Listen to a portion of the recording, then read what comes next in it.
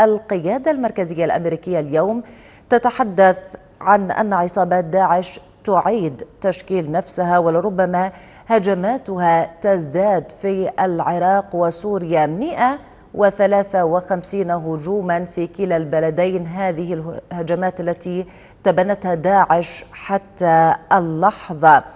هل يشكل هذا لربما التصريح تحذيرا أو إخطارا من أنه آه، سيكون هنالك احتمالية لعودة التنظيم وعودة قوته كسابق عهدها؟ يعني حقيقة هذا التصريح الثاني الذي نسمعه من وزارة الدفاع البريط... الأمريكية آه، قبلها كان تصريح لأوستن عندما ذكر أيضا عن أن هنالك نشاط لتنظيم داعش في الأراضي السورية والأراضي العراقية وأنه بدأ ينشط وتكلم عن آه، أعداد بحدود الأربعة آلاف إلى ستة آلاف آه، عنصر.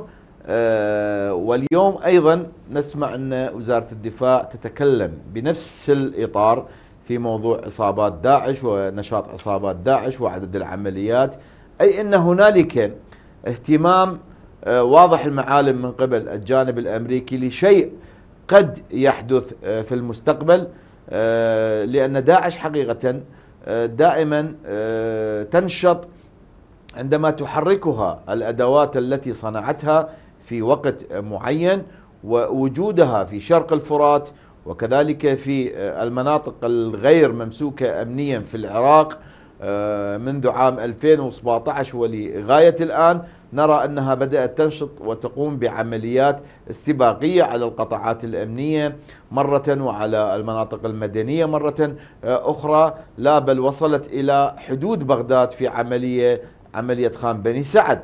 هذه المعطيات يجب علينا أن نأخذ نأخذها على محمل الجد لأن التنظيم نعم هو ليس كما كان سابقا ولا يحلم بدولة التمكين لكنه يتحرك.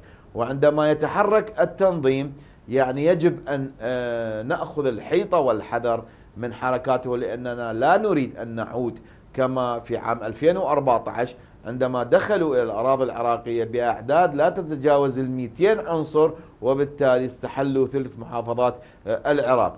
التنبيهات الأمريكية هي أيضا يجب أن آه، ندرسها. ونرى أنها لماذا في هذه الأوقات بدأت آه، الإدارة الأمريكية وزارة الدفاع الأمريكي تتكلم عن آه، هذه التحركات.